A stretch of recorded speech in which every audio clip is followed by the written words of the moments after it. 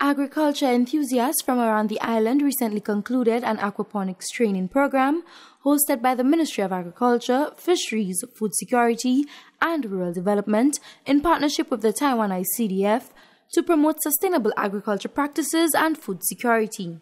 The aquaponics training program led by technical experts of the Taiwan ICDF was designed to provide participants with a comprehensive understanding of the sustainable and symbiotic method of farming that combines aquaculture and hydroponics, including its basic principles, benefits, and practical applications. The program culminated in a graduation ceremony where approximately 50 successful participants were awarded certificates of completion.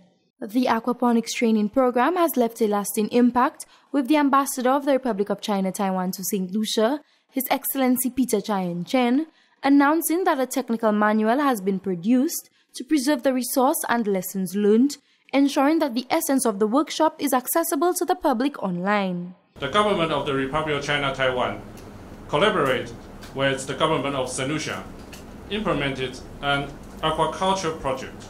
We established aquaculture facilities, introduced various varieties of tilapia and freshwater prawn, conducted training on the operation and good practices which has set up a basic foundation for agriculture industry in St. Lucia, with a view to expand the circle of opportunities for farmers and promoting agricultural diversification.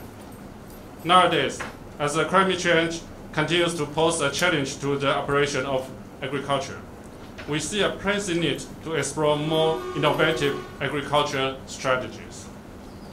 And aquaponics is a way out. Minister for Agriculture, Fisheries, Food Security and Rural Development, Honorable Alfred Prosper, expressed his satisfaction with the program, highlighting the importance of sustainable agricultural practices in ensuring food security and promoting economic development. He also thanked the Taiwan ICDF for their support and collaboration, noting that the partnership between the two entities has yielded numerous benefits for the agriculture sector in St. Lucia. We have to move in other directions diversify the sector. And aquaponics is a critical aspect of agriculture.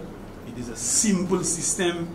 It is a system, from what I've read, that can be placed in anybody's backyard. It's a simple system.